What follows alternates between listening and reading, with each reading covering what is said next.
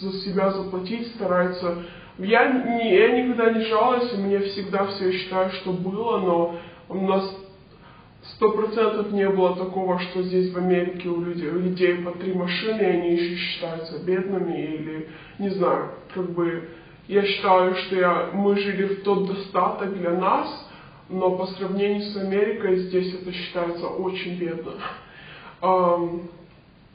Так, и самое нелюбимое, то что